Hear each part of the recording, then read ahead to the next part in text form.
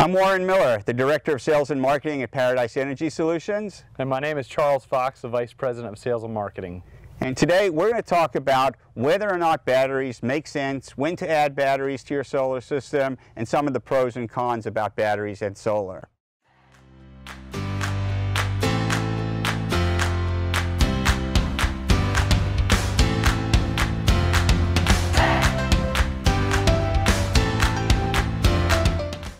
So Charles, bottom line, do batteries make sense with solar? So it really depends on what you're trying to accomplish. So batteries typically are used for battery backup in residential situations.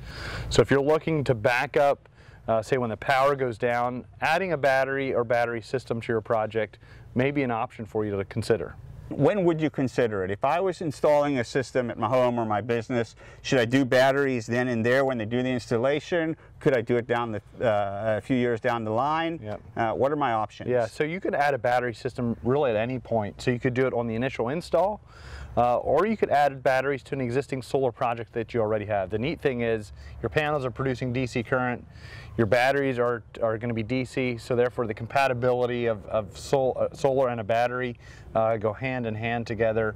So whether you add it at the beginning of the install or after you have a project, it really comes down to how much maybe you can afford or how much you want to spend. Sure, sure. Tell me, what can I expect out of my batteries? So battery technology is still being developed. This is 2019 and there's a lot of advancements in battery. Uh, I will say, Warren, there is a little bit of a misconception of how much a battery can produce.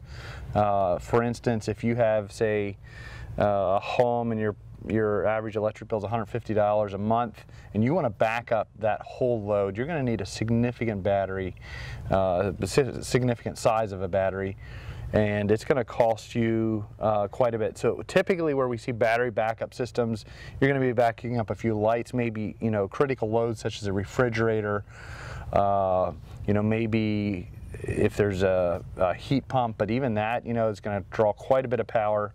So it's basically to keep the lights on, maybe charge something, keep the refrigerator, the, the freezer going. Uh, but to do a whole battery backup system is, is going to be uh, something that uh, is going to be expensive. So some of the benefits of, of a battery is that in those critical moments when the power goes out, you can run your refrigerator and keep your food still refrigerated. Right. right. But what are some of the downsides of batteries? So a downside to a battery today is the maintenance that's going to be required. So they're going to cycle on and off and they only have so many times that they can cycle effectively. Uh, and typically what we're seeing today is that in a 10-year period or 10 years from now, your battery will be 60% as efficient as it was in year one.